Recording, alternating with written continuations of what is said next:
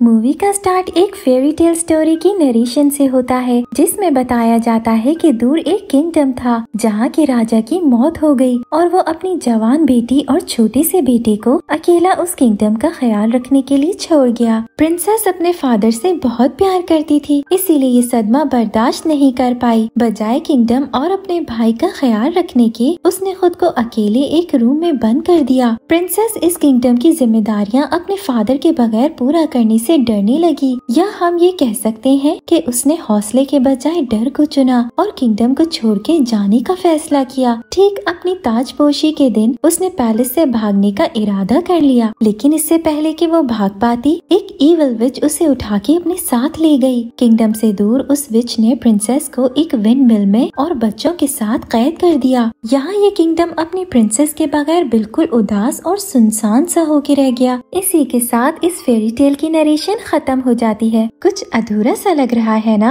ज़ाहिर है फेरी टेल की तो हैप्पी एंडिंग ही होती है, और वही अच्छी भी लगती है। फिर स्टोरी में विच कैसे जीत गई? या ये कह सकते हैं कि स्टोरी अभी अधूरी है। फिर इसकी एंडिंग क्या हुई? और हैप्पी एंडिंग हुई के नहीं? ये जानने के लिए एक्सप्लेनेशन एंड तक सुनिए। सीन्स एक स्काई नामी आम लड़की पे शिफ्ट होते हैं, जो कोई प्रिंसेस तो नहीं है, पर उसकी ज़िंदगी स्टोरी वाली प्रिंसेस से कुछ अलग नहीं थी। उसने भी कुछ वक्त पहले ही अपने अपने फादर को खो दिया था। अब इस इतने बड़े चेंज के बाद वो अकेली ही अपनी मदर और भाई को संभाल रही थी। लेकिन आहिस्ता आहिस्ता वो भी थकने लग गई थी। उसे भी किसी की ज़रूरत थी, जो उसे सुने और हौसला दे। रूम में जाके स्काई अपने फादर की पिक्चर देखती है और उदास हो जाती है। वो अपने फादर को बहुत मिस करती है, क्योंकि वही उसका हौसला और हिम्मत है, जो अब जा चुका था। इसीलिए स्काई के लिए अकेले इस दुनिया से लड़ना मुश्किल हो रहा था। अगले दिन स्काई जब अपने ब्रदर को स्कूल में लेने जाती है तो वहाँ लोगों की अजीब बातें और तंज भरी नज़रों से बचने के लिए वो ऑडिटोरियम में चली जाती है। वहाँ किसी प्ले के लिए फेरी टेल वाला माहौल बना होता है। स्काई स्टेज पे जाके चीज़ों को देख के सोचने लगती है कि वो फेरी टेल्स पे यकीन करना चाहती है। पर ज़िंदगी की तल हकीकत देखने के बाद उसे एहसास हो गया है कि फेरी टेल सिर्फ़ एक धोखा है। एक टाइम था जब स्काई का सबसे बड़ा डर हॉरर मूवीज़ और स्टेज पे परफॉर्म करना था, पर उसके डैड जो उसे किसी प्रिंसेस से कम नहीं समझते थे, हमेशा संभाल लेते थे। अपने फादर की वजह से स्काई को फेरी टेल्स पे पूरा यकीन था, और वो भी उसे यही कहते थे कि स्काई को डरने की ज़रूरत नहीं है, वो तो उसके साथ ही है। पर एक दिन उसे उसका प्रिंस भी मिलेगा, जो उसे क्राउन पहना के क्वीन बना देगा। लेकिन उनके जाने के बाद अब स्काई को ये सब सिर्फ़ झूठ और कहानियाँ लगती है। उसे लगता है कि उसे कोई भी इस सबसे रेस्क्यू करने नहीं आ आने वाला है। जैसे सिंड्रेला, स्नो व्हाइट या बेला को उनके प्रिंस ने किया था। वो इसी दलदल में फंस के रह जाएगी। तभी वो स्टेज पे गाते हुए प्रिंसेस का ड्रेस पहनती है। पर एकदम केले के छिलके से फिसल के बेहोश हो जाती है। यहाँ हम पे रिवील होता है कि स्टार्ट में हम जो स्टोरी सुन रहे थे, वो और कोई नहीं, बल्कि स्काई की ही स्टोरी थी, जो वो और उसके डैड मिलके इमेजिन किया करते थे। अब बेहोश होने पर स्काई वापस अपने ड्रीम में चली जाती है। फिर वो उसी विंड मिल में उठ उठती है, जहाँ उसे विच ने ले जाके कैद कर दिया था। यानी ये स्टोरी स्काई की है, जो अभी अधूरी है। अब इसका एंड क्या होगा? स्काई को उसका प्रिंस मिलेगा कि नहीं? वो विच कौन है? ये सब जानने के लिए एंड तक साथ रहिए। वहाँ स्काई को थम के नाम का पपिट होश मिलाता है, जो असल में एक बच्चा है, पर विच ने उसे गुस्से में आके पपिट में बदल दिया था। थमकिन स्काई को बताता है कि वो एक प्रिंसेस है। पहले तो स्काई को कुछ समझ नहीं आता कि वो यहाँ आई कैसे। फिर आए आहिस्ता आहिस्ता थमकिन उसे बताना शुरू करता है कि यहाँ का इंचार्ज मास्टर विलो है और सब उसी के ऑर्डर्स पे चलते हैं। मैडम मिजरेबल वही विच है जो स्काई को यहाँ लेके आई है। पर वो भी विलो के गुलाम है। एक टाइम था जब मिजरेबल बहुत ही खूबसूरत सी औरत थी। उसने अपनी सोल मोर ब्लैक फॉरेस्ट की आत्माओं को बेच दी ताकि वो ब्लैक मैजिक की पावर हासिल कर सके। फिर अपने हस्बैंड हेक्टर के साथ मिलके मिजरेबल स्काई के आसपास वाले किंगडम्स पे कब्जा करने लगी और उन लोगों में अपना डर पैदा करने लगी। जब उन आत्माओं को पता चला कि मिस रॉबेल उनकी दी हुई शक्तियों का गलत इस्तेमाल कर रही है तो वो उस पर हमला करते, उसे खत्म करने की कोशिश करती हैं। मिस रॉबेल अपनी आखिरी साँसें ही ले रही थी कि उसे विलो ने देख लिया। विलो ने मिस रॉबेल को दूसरी ज़िंदगी तो दी, पर साथ ही साथ उसकी खूबसूरती उससे ले ली, ताकि मिजराबेल को बाहर की दुनिया न अपनाए और वो उसकी गुलाम ही बने रहे। साथ ही विलो ने उसके हस्बैंड को एक पपेट में बदल दिया। इस स्टोरी के खत्म होते ही वहाँ एक नए कैरेक्टर कॉर्नेलिस की एंट्री होती है। उसे भी मिजराबेल ने कैदी बना के रखा हुआ था।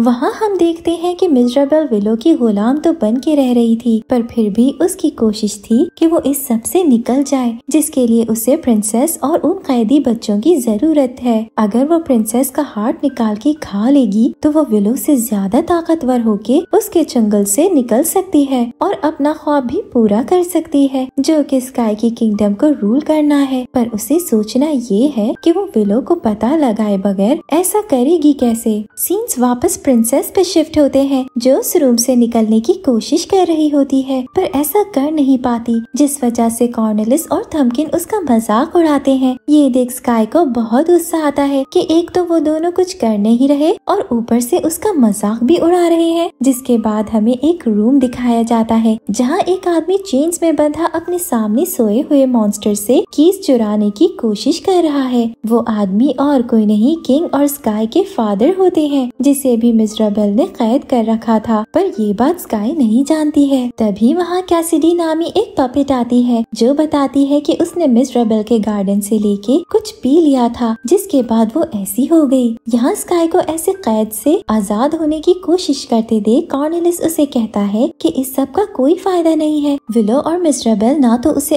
आज़ाद करेंगे ना ही उसके फादर को यहाँ से निकलने देंगे क्योंकि उनकी नज़र उसके किंगडम पे है। जब स्काई को पता चलता है कि उसके फादर ज़िंदा हैं, तो उसकी खुशी का कोई ठिकाना ही नहीं रहता है। सीन्स वापस किंग पे शिफ्ट होते हैं जो सोच रहा होता है कि उसने कभी भी अपनी बेटी को अकेला नहीं छोड़ा था ना वो ऐसा कर सकता है। पर हालात ऐसे हो गए कि वो स्काई से दूर हो गया। इसका ये हरगिज मतलब नहीं कि वो अपनी बेटी से प्यार नहीं करता या उसे मुश्किल में देख के खुश है। स्काई ये जानने के बाद उसके फादर ज़िंदा है, खुद को रोक नहीं पाती। अब तो उसकी ज़िंदगी का मकसद बस अपने फादर को ईवल से बचाना बन जाता है, ताकि वो लोग वापस एक नॉर्मल लाइफ गुजार सकें। इसके लिए वो थमकिन और कॉर्नेलिस से मदद नहीं मांगती, बल्कि उन्हें उसका साथ देने का ऑर्डर करती है, क्योंकि वो यहाँ इस कमरे में सिसक सिसक के नहीं मरना चाहती, बल्कि अपने डर से मुकाबला करना चाहती है, जो कि उसके डैड हमेशा से चाहते थे। किंग कैसिडी की मदद से अपने आप को आज़ाद करते हुए उस मॉन्स्टर से बचते वहाँ से निकल जाता है। लेकिन मिस रबेल से बचना इतना आसान नहीं था। उसके आदमी वहाँ पहुँच के उन दोनों को एक बार फिर पकड़ लेते हैं और किंग को वापस कैद कर देते हैं। स्काई उस रूम से निकल के अब अपने फादर को ढूँढने लगती है, जहाँ रास्ते में उन्हें एक इंसेक्ट की तरह का मॉन्स्टर नज़र आता है। स्काई को वो बहुत क्यूट लगता है, इसीलिए वो कॉर्नेलिस के मना करने के बाद भी उसी के पास चली जाती है। लेकिन था तो वो मॉन्स्टर ही। इसीलिए स्काई पे अटैक कर देता है, जिस पर स्काई डर के उसे मार देती है। मिजराबेल के मॉन्स्टर्स कैसिडी को उसके पास लाते हैं। मिजराबेल गुस्से में कैसिडी का टॉय तोड़ देती है, फिर उसे सजा देने के लिए बाँध देती है। तभी मिजराबेल अपने हस्बैंड से कहती है कि वो अपनी आज़ादी वापस पाने के बहुत करीब है। उसे बस एक पोर्शन बनाना है, जिससे बच्चों को पिला के वो उनका खून पिएगी और साथ प्रिंसेस का हार्ट खाएगी। फिर उसे विलो, क्या दुनिया की कोई ताकत उसे रोक नहीं सकती है। उसके बाद वो अपने हस्बैंड के साथ इस दुनिया पे राज करेगी, जो हमेशा के लिए उसका ड्रीम था। कॉर्नेलिस स्काई को विंडमिल की रूफ टॉप पे ले जाके उसका पैलेस दिखाता है, जो इतना खूबसूरत लग रहा था। कॉर्नेलिस स्काई को आँखें बंद करके उसे महसूस करने को कहता है। स्काई की आँखें बंद करने पर उसे अपने रियल वर्ल्ड में फादर का लेटर याद आता है, जो उसे कह रहे थे कि वो उन्हें ना ढूंढे, क्योंकि वो स्काई से बहुत दूर जा रहे हैं। स्काई अगर कुछ करना चाहती है तो उनकी खातिर खुश रहने की कोशिश करे। फिर स्काई प्रिंसेस के ड्रेस में चल रही होती है। साथ उसके कानों में उसके फादर की आवाज़ चल रही थी कि वो स्काई को कभी अंधेरे में अकेला नहीं छोड़ेंगे। वो उसकी मदर और भाई उनकी यादों के साथ भी खुश रह सकते हैं। वो कभी किसी दुख, विच या शक्ति को उन्हें नुकसान नहीं पहुँचाने देंगे, क्योंकि ये इन लोगों की फेरी टेल है, जिसमें सिर्फ़ हैप्पी एंडिंग होगी, और ये लोग उसे खुद पूरा करेंगे। यहाँ स्काई को एहसास होता है कि वो जिन लोगों और घर से भाग रही थी, वो उसका सब कुछ है। सिर्फ़ मुश्किल वक्त आने पर वो उन्हें छोड़ नहीं सकती। इसी एहसास के साथ स्काई एक नई शुरुआत करने का फैसला करती है। वो कॉर्नेलिस से भी वादा करती है कि वो उसे वापस उसके घर वालों के पास ले जाएगी, जिसके बाद पूरी हिम्मत और कॉन्फिडेंस के साथ वो मिस रबेल की कैद में पड़े बच्चों को बचाने चली जाती है। उन बच्चों तक पहुँच के स्काई जेल को तोड़ने की कोशिश करती है तो एक मम्मी मॉन्स्टर इन पे अटैक कर देता है, जिससे सबको स्काई ही बचाती है। अब जेल ऐसे तो खुलने नहीं वाली थी, इसीलिए वो लोग मिजराबेल से जाके चाबी चोरी करने का फैसला करते हैं। वहाँ कैद एक बच्ची उन्हें मिजराबेल के चेम्बर से रास्ता बता देती है। चेम्बर पहुँच के ये लोग सुनते हैं कि मिजराबेल तक इनकी आज़ादी की खबर पहुँच चुकी है और वो अपने सिपाही इनके पीछे भेज रही है। थमकिन के छोटे होने पर वो लोग उसे अंदर भेज के चाबी लाने को कहते हैं, जिसमें वो कामयाब हो जाता है और स्काई सारे बच्चों को आज़ाद करके वापस किंगडम जाने को कहती है। उसे अभी भी यहाँ रह के अपने फादर को बचाना है। इसीलिए वो वापस मुड़ जाती है। थमकिन और कॉर्नेलिस भी उसके साथ ही जाते हैं, विच इन तक पहुँच के इन पे अटैक करती है, जिससे थमकिन जख्मी हो जाता है। फिर विलो की आवाज़ आती है, जो स्काई को उसके फादर दिखाते हुए उसके सामने एक शर्त रखता है कि अगर स्काई उसे गाना गा के सुनाएगी तो वो स्काई को अपने फादर के साथ कुछ वक्त और गुजारने का मौका देगा। साथ ही उसे विच से भी हमेशा के लिए छुटकारा मिल जाएगा। यहाँ से हम अंदाज़ा लगा सकते हैं कि स्काई को स्टेज पे परफॉर्म करने से डर लगता है और उसे अपने इस फेयर को हरा के अपने फादर को जीतना होगा। स्काई मान जाती है और गाना गाने लगती है, जिसमें उसके फादर भी उसका साथ देते हैं और उसे कहते हैं कि अपनी इमेजिनेशन को खुद कंट्रोल करे। अगर इमेजिनेशन ने उसे कंट्रोल करना शुरू कर दिया तो स्काई कभी भी अपने अंदर के डर पे काबू नहीं पा सकेगी। इसीलिए स्काई अपने फादर की सुनते हुए अपने हर डर से जीत जाती है, जिसके बाद विज भी उसकी ज़िंदगी से निकल जाती है। अपने फादर के साथ गुजारे वो कुछ आखिरी पल स्काई के लिए सब कुछ थे। विच से आज़ादी पाने के बाद कॉर्नल स्काई को उसका क्राउन पहनाते हुए अपने किंगडम को जाके संभालने को कहता है।